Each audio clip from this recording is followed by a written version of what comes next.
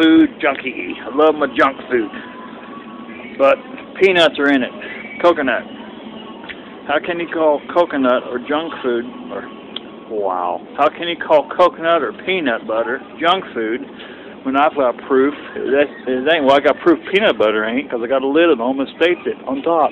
Peanuts are not bold print, not junk food. It's a lid on the five pound, five pound bucket of peanut butter I got. And this has one has peanuts, but uh, it, it got a clearance. You know why they got a clearance? Because it's going to smaller packages. Yeah. You ain't getting eight no more. Well, I got eight here. Then next to my cola.